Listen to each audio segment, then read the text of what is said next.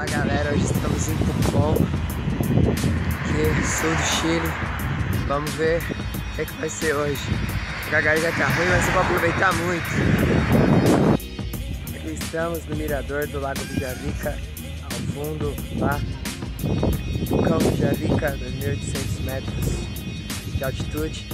Geralmente ele fica soltando essas fumarolinhas quando ele não solta, os habitantes já ficam já um pouco tensos, já acumulam os gases e tem as explosões.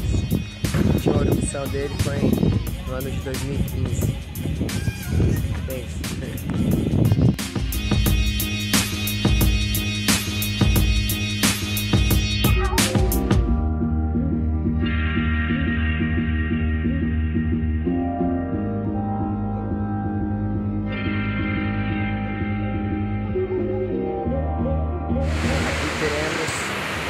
Os órgãos de Caburgo.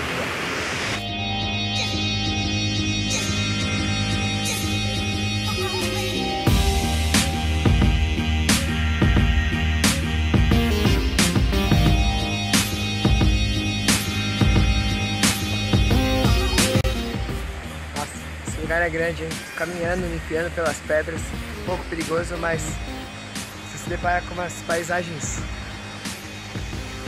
lindas em qualquer lugar que você vá. Não importa o lugar do mundo, tem um momento mais lindo do que o pôr do sol.